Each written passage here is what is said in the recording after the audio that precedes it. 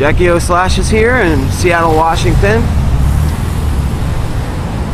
And I just wanted to show YouTube here um, little symbol of the continuing fall of our republic. We have a massive seven ton bronze statue of Vladimir Lenin here in the Fremont neighborhood. No one seems to notice, no one seems to care. Just got a massive statue of a communist dictator in the middle of an American city that prides itself on being liberal and free.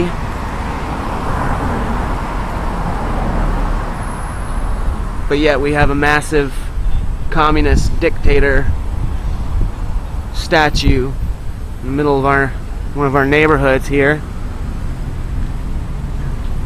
And if you see over here on the uh, little information, it says Lenin in Fremont, right or wrong?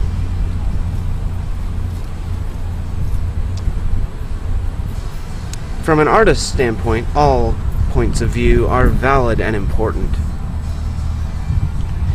And of course, uh, I don't know if this is just a uh, coincidence or if it has something to do with the communist takeover of America, but it's the giant Lenin statue is located right in front of. Oh, what's that? Oh, the Freemasonic Lodge number 92. you can uh, see that there. And we've got the all seeing eye, and uh, above the uh, title there. Can't quite see it from here, but there's a other Freemasonic uh, compass and uh, emblem there. But yeah, then right in front of that, here on the street corner, we've got our massive seven ton statue of the communist dictator Vladimir Lenin here, and no one seems to notice, no one seems to care. So basically, it's totally fine to have a communist dictator statue uh, that towers above the street. But it's not okay to uh, have a uh, maybe a plaque with I don't know the Bill of Rights, the Constitution, Declaration of Independence, any of those things. No but somehow this is necessary. And of course right in front of the uh, good old Freemasonic Lodge there. So yeah.